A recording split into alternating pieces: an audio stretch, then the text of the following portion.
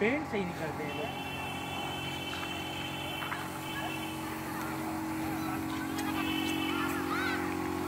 आदि खड़े जो यूट्यूब पे डालना है, तुम्हारा फ़ोटो भी आ जाएगा।